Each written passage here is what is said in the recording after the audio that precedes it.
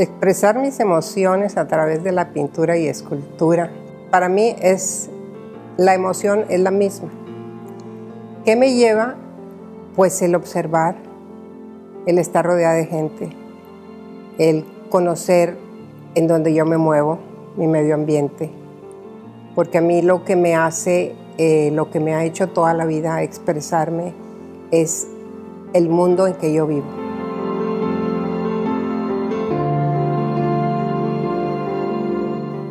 Nunca trato de salirme de mi ambiente, nunca trato de, parecer lo que no soy. Siempre rodeada del mundo en que yo vivo. Es exactamente lo que me lleva a, pues, a inspirarme, vamos a decir, o a, o a querer hacer algo de lo que yo estoy viviendo.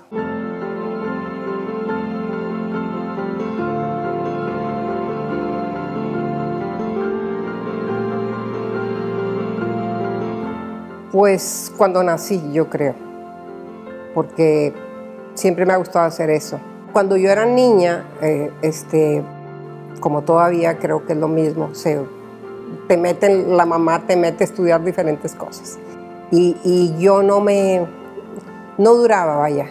Sí entraba a las clases, sí, sí me exponía a conocerlas, pero no, no duraba hasta que encontramos una maestra de pintura y ahí sí ya nunca jamás me quise salir.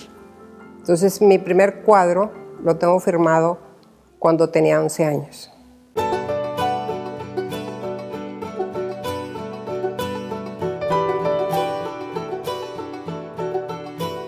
Todos los personajes que, me inspiran y que tengo en, mis cuadros son cosas que me rodean y, además es como muy... Um, como muy fácil porque no los tengo que ir a buscar.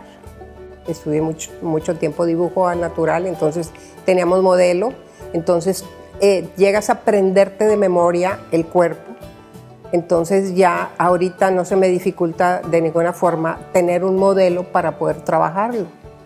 Entonces eh, tengo la facilidad de que lo que yo vea, puedo llegar y hacerlo.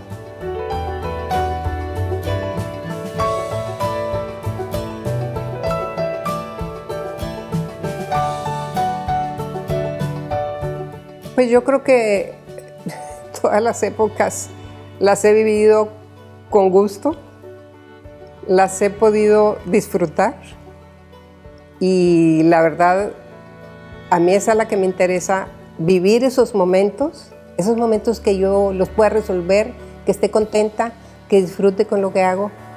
Yo no puedo decirte, ay, en 1980 me fue bruto. No, me fue bruto siempre. O sea, siempre, porque es tu actitud. Es como tú quieras llevar aquellos momentos de tu vida.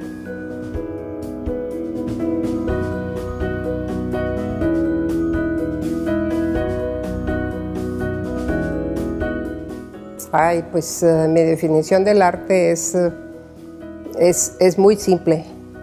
Sin el arte no podemos vivir. El arte es, es una necesidad para toda la gente, no solo para los que creemos hacer arte, sino para, para todos los momentos de la vida. Si tú estás eh, con algo que a lo mejor para ti es arte eso, pues qué padre, pero a lo mejor para mí no es, no es arte eso. Entonces yo creo que eso es muy efímero.